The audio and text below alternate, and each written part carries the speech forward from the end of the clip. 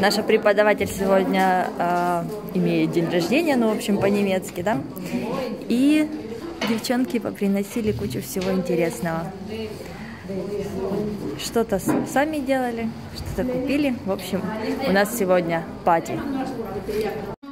Тереза сделала, как всегда, обалденный торт. Просто красивейший. Блин, такое даже жалко просто резать, вот реально. Привет, мои хорошие. Понедельник, я уже пришла с курсов. Если честно, сегодня мне курсы дались очень тяжело, я еле высидела. У меня был какой-то упадок сил, вообще какое-то такое состояние. Знаете, вроде километр пробежала. Шла назад, зашла в Алди, купила пионов, я не знаю, расскажите мне, как пройти мимо пионов и не покупать их. Кто расскажет мне, я тому выпишу медаль. Купила белые пионы, они пахнут лучше, чем э, вот эти вот кучерявые розовые пионы. Купила детям на вечер попкорн карамельный, вот на 15 евро вот скупилась. Здесь черешню купила, голубику, чернику, как вот она правильно называется, бромбирен, да? Ага, а этот, э, малинку, пиончики, карамелька, в общем, и все.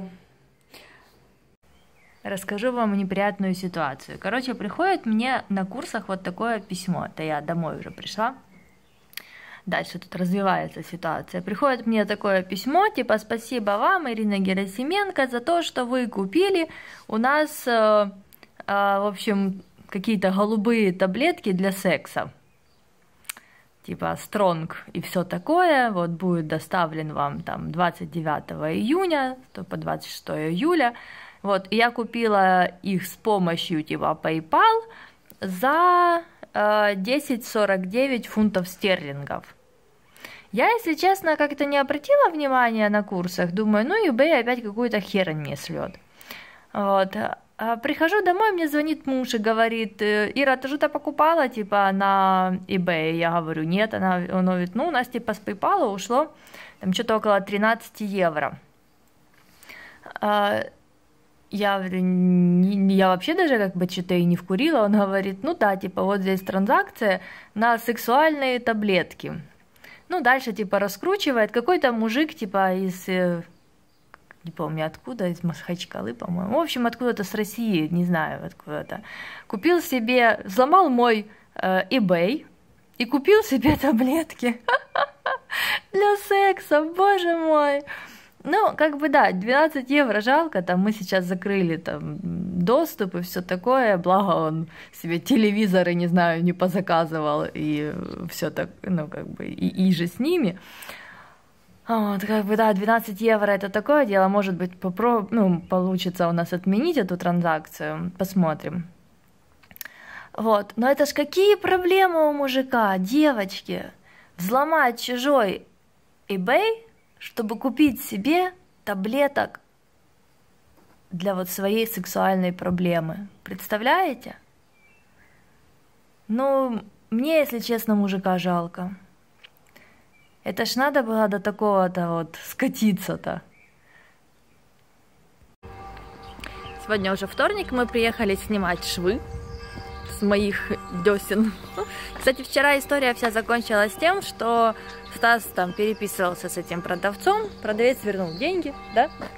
Вернул деньги, но покупку для eBay до сих пор он не закрыл. Она висит да, ну как покупка висит как неоплаченная. Ну, мужик, короче, не получит он таблеток. Ну, что сделать, да? Как бы не всегда получаешь то, что хочешь. Ну все, теперь можно точно сказать, что с удалением зубов я закончила. Сняли мне швы, это, конечно, неприятно, вот, но терпимо. Ну, естественно, это все делают без анестезии. Странно, если бы это еще и с анестезией делали. Вот, ну, все хорошо. Теперь мы, вернее, я приняла стратегическое решение не идти на курсы. Вот, я сегодня буду бездельничать ну как бездельничать. Вот сейчас, допустим, мы поедем в Нимфай и закажем время и место празднования дня рождения Кирилла. У него день рождения 3 июля, но отмечать мы будем 8 июля. Ну и, как вы понимаете, за месяц надо это все уже заказать и раздать пригласительные, чтобы люди могли спланировать. И то это мы уже задержались. Надо было на недельку раньше это делать. Ну, надеюсь, места будут и будет у нас все хорошо. Короче, едем в Нимфлайн. Вот этот центр. Сюда мы и пойдем. Ой, девчоночки, мы уже дома. Оп, я тут расселась, покажу вам, чего я купила в экшене. Скажу, что мы заказали Нимфлай на 8 число. И, э, значит, э, насколько я знаю, удовольствие это здесь не из дешевых будет э, это все более чем на 100 евро нам это выйдет. Но день рождения у ребенка раз в году, да, сделаем ему такое пати. Для этого вот я еще купила скатерть одноразовую. У нас будет вот приглашение. Мы купили немножко, не было одинаковых, пришлось разные приглашения покупать здесь по 5 штучек их. Вот. Сейчас заполню Имена детей уже в садике впишу, потому как я не знаю, как правильно пишется. Йонас, Чия, Зайнап, э, Зои. В общем, да. Купила одноразовые тарелочки красивые, салфеточки. Будет у нас в стиле Маквин. Вот такие вот, видите, тарелочки. Купила трубочки красивые деткам. Я знаю, что все равно деткам это очень нравится. Так, вот а, эти стаканчики, опять же, в стиле. А, кому захочется, вот такие есть стаканчики. Дуделочки. Но это пока все, что... А, нет. И вот шарики такие. Хотим еще поискать, э, здесь продаются такие баллоны с гелием, ну, чтобы шарики были, да, такие как висячие. Не, не, не просто ползали по, по полу, а все же висели. Боже, ну нас траву косят. Ну что такое? Вот, это я себе купила для рукоделия такие листики. Хочу сделать, э, ну, сшить пару домиков, знаете, такие вот э, мягкие домики для декора. Вот, и поменять вот здесь вот, положить эти два или три домика, я не знаю, как получится. Ну, чтобы кресло у меня было более уютное. Вот. А это, я думаю, к крыше, знаете, вот когда крыша и здесь домик, а вот здесь вот по кромочке пустить типа такие вот э, лианки. Ну, посмотрим. Вы знаете, это все меняется в процессе. Вот. Понравились мне новенькие такие висюльки. Где-нибудь пригодятся мне для украшения или, или не знаю, или так носить. Тоже хорошо красивые медальончики, кулончики. Вот. А это вообще палочки для сладкой ваты. Мол, дома, знаете, кто делает сладкую вату, покупают такие палки. Вот у нас даже, видите, они продаются. Пожалуйста. И э, я подумала, что они мне пригодятся где-нибудь для рукоделия. Они прикольные такие, ну, не знаю, будет не видно.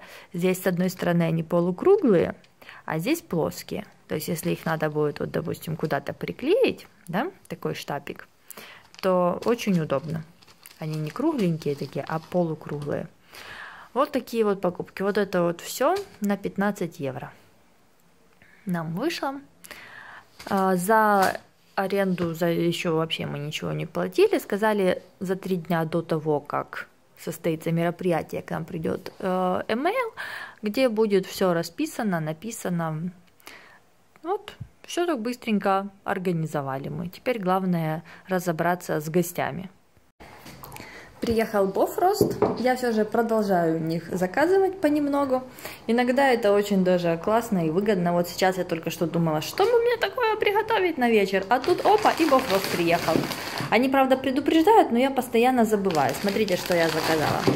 Значит, это мясо фаршированное, э, фаршированное, не сказать, что фаршированная, да, но, в общем, внутри э, сыр, кремовый сыр, типа маскарпоне, наверное.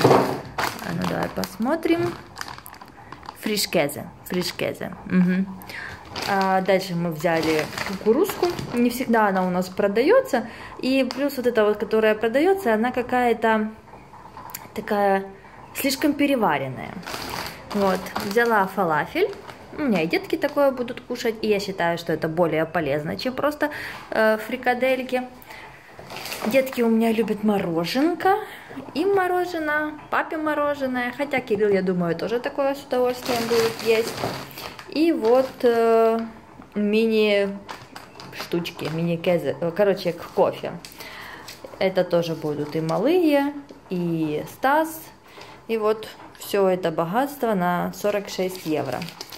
Давайте посмотрим, что почем. Фалафель по 7,95. Хак Рольхен, Хак Рольхен, это скорее всего вот это, да? Да, Хак Рольхен, это 10 евро.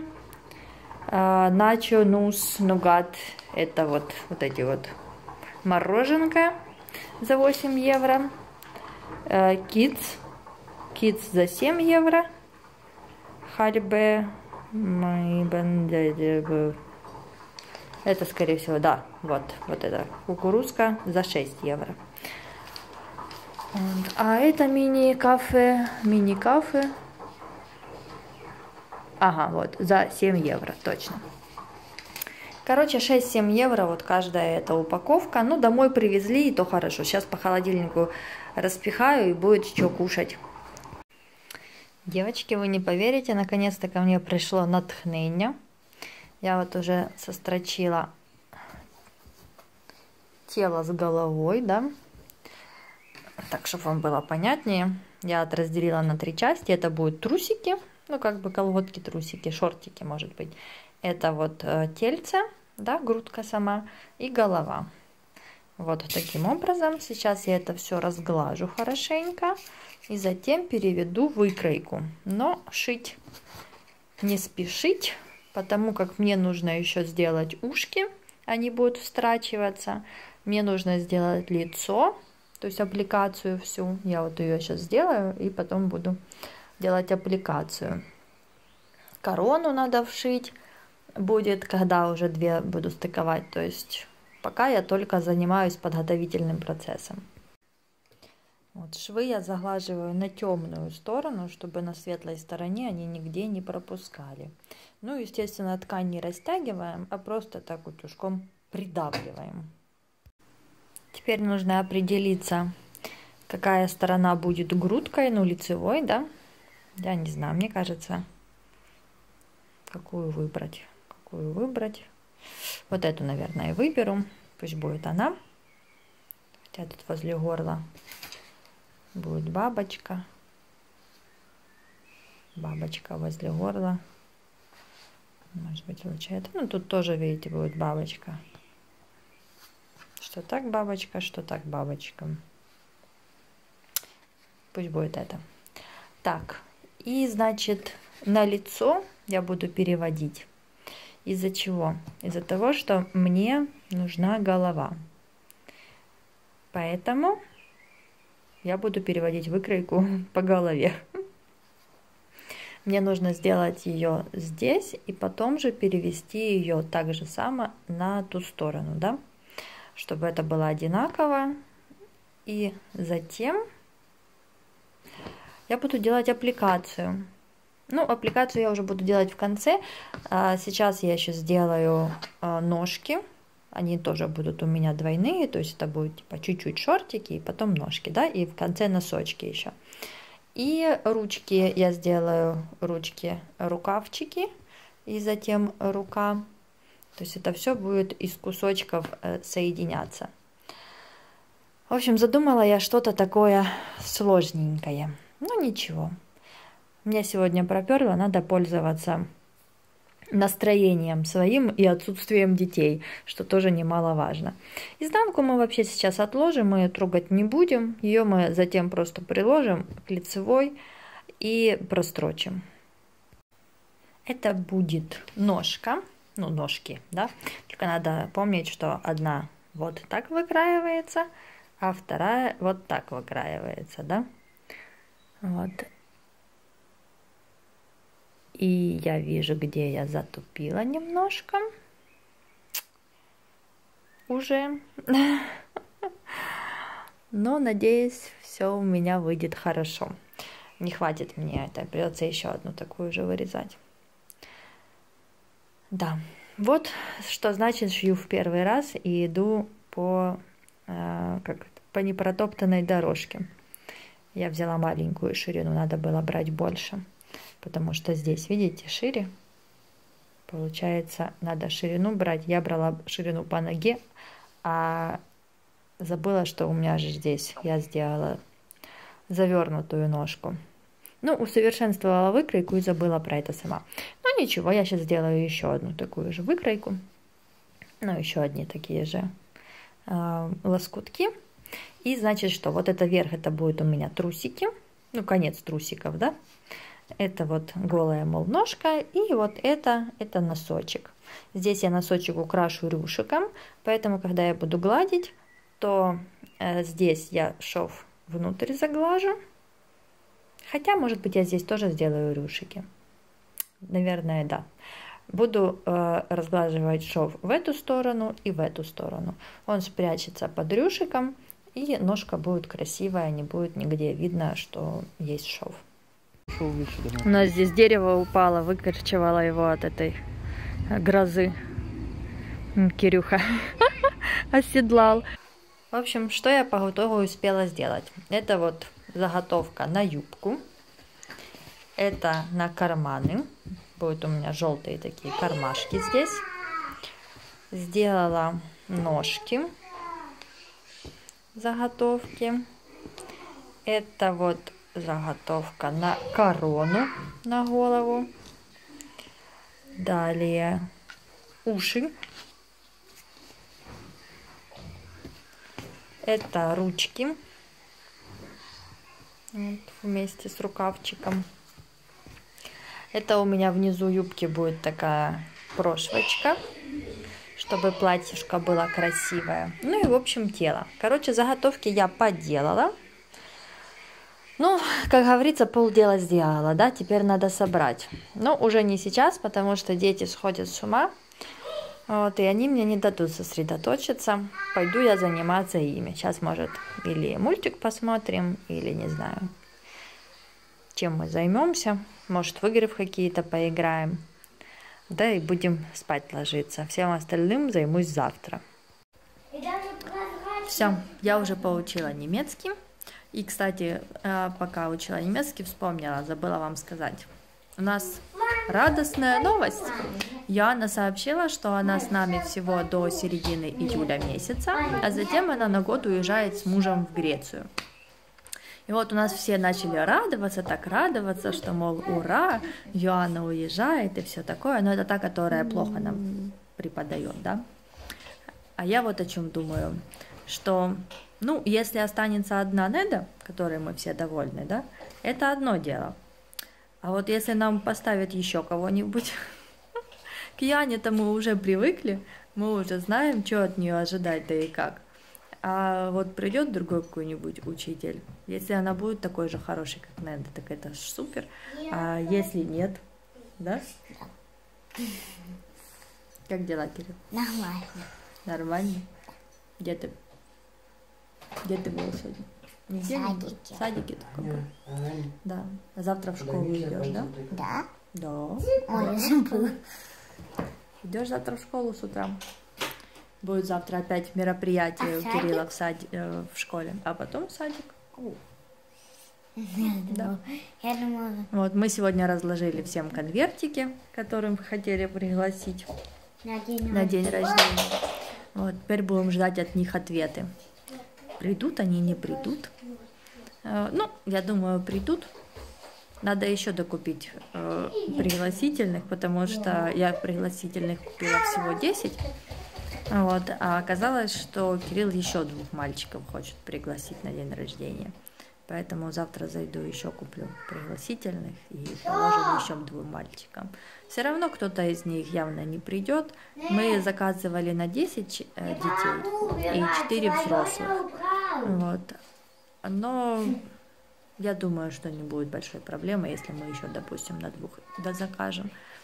Это при том, что все смогут прийти. Вот. На сегодня, наверное, все. Буду я заканчивать. Сейчас быстренько смонтирую влог. На всем Всем пока. Увидимся вскоре.